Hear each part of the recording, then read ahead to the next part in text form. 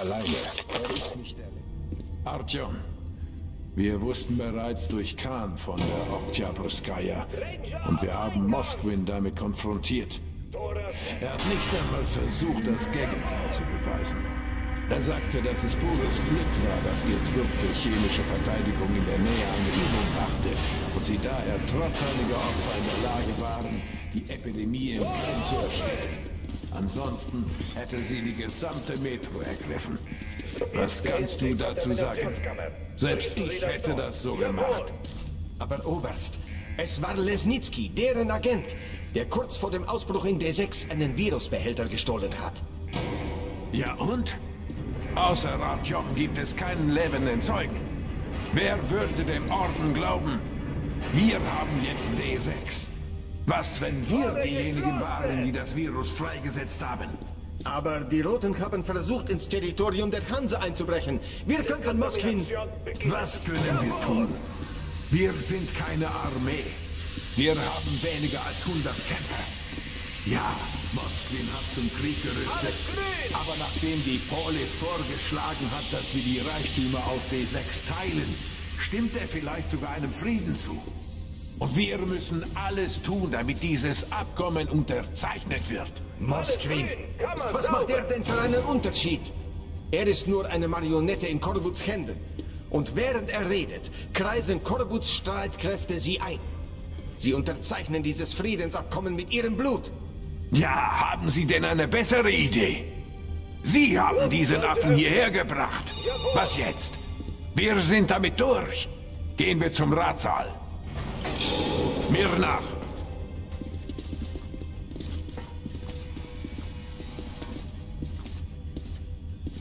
Bitte um Erlaubnis, Meldung machen zu dürfen, Herr Oberst. Abgelehnt. Dringende Meldung an den Kommandanten der Sicherheitskräfte bei D6. Höchste Alarmstufe. Weisen Sie Kornejew an, bitte. Ach, er weiß, was zu tun ist.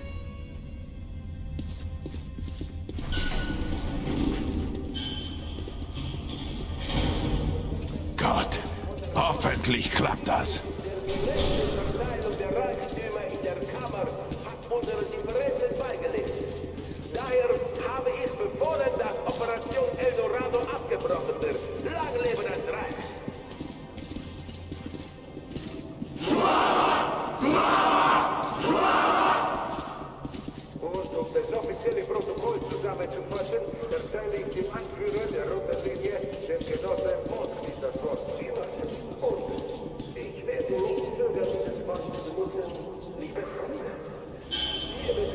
Mach dich bereit, Artyom.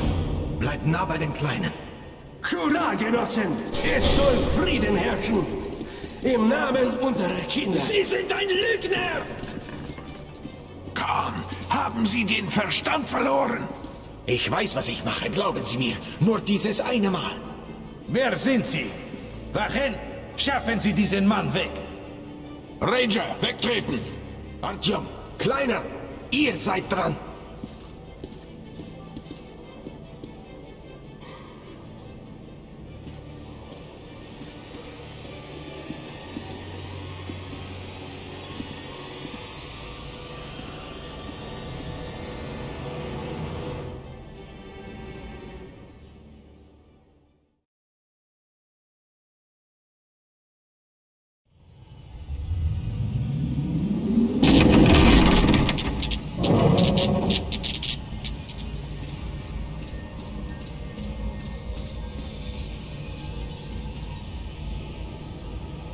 Genosse Moskwin, Sie müssen mich dabei unterstützen. Ansonsten könnten ein paar unbequeme Details auftauchen, die den Tod Ihres Bruders betreffen.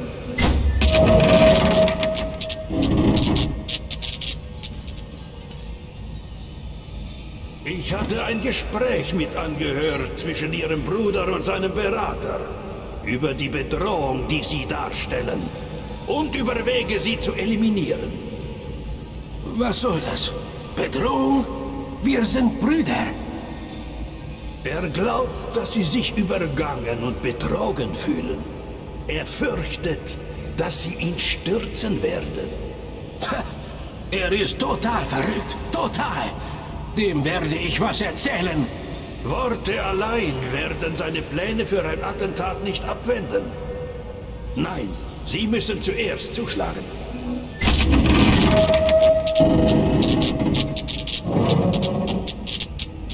Maxim, Bruder, ich bin ja so erfreut, dass wir uns endlich vertragen. Es war ein Streit um gar nichts. Lass uns einen trinken. Klar, Bruder.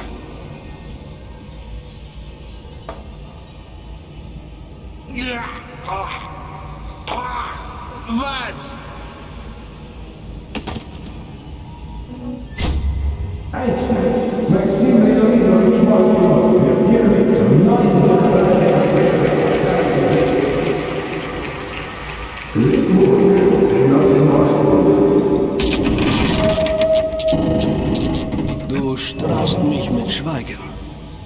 Was guckst du mich aus diesen ehrlichen Augen so an?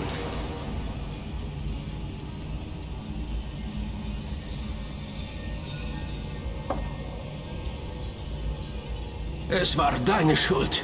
Wer wollte mich denn tot sehen? Korbut hat dich verraten. Und jetzt hat er mich an den Eiern. Alles nur wegen dir.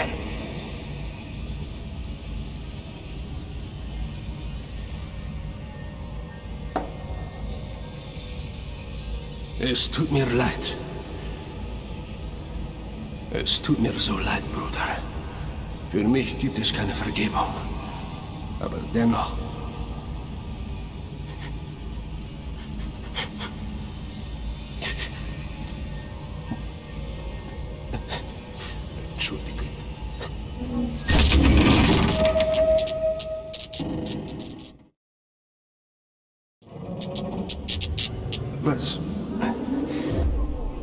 Was war ich?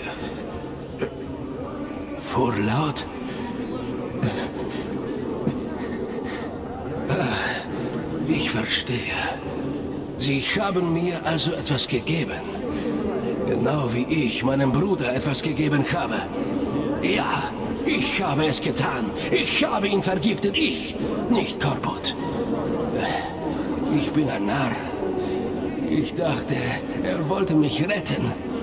Und er nahm einfach die Macht an sich, packte mich an der Kehle. Und er stürmt gerade D6. Und da ist dieses Virus. Und wenn es in Korbuts Hände fällt, ah, das Ende. Aber Sie sind der Anführer. Befehlen Sie es ihm. Rufen Sie die Truppen zurück. Halten Sie sie. Hier können wir nichts mehr machen. Beeilung! Schneller! Was für Zum ein Bahnsteig! sind Sie? Verdammt, ich werde D6 nicht aufgeben. Mir nach!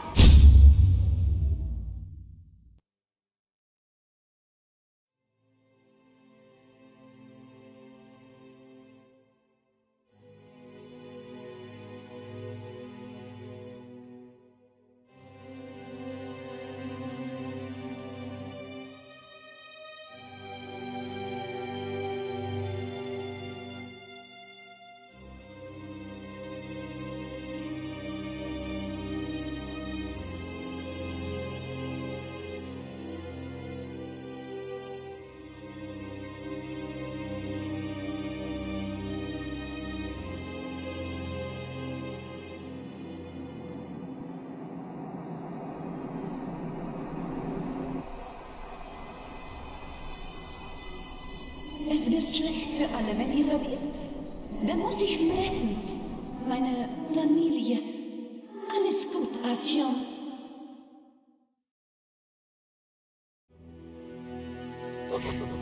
Er ist weg.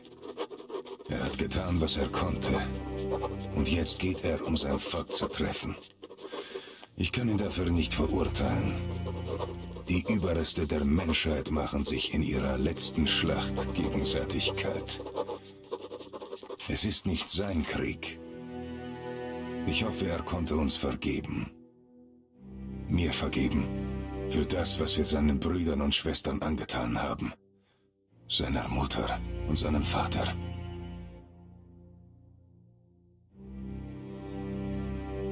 Okay, Leute. Ich mache hier noch. So, okay, Leute. Ich mache hier noch einmal einen Cut. Und dann machen, gehen wir zum großen Finale. Also, ich gehe jetzt mal von aus, dass es das jetzt ist.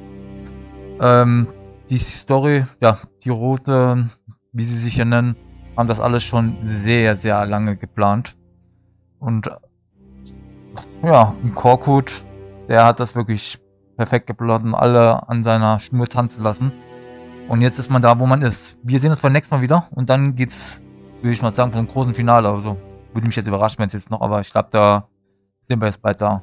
Und was für ein Ende wir haben, ich weiß es nicht. Also ich bin da, ich würde mal sagen, so 50-50 würde ich das jetzt mal nennen, wie unser Ende, wie das Ende ausgehen könnte.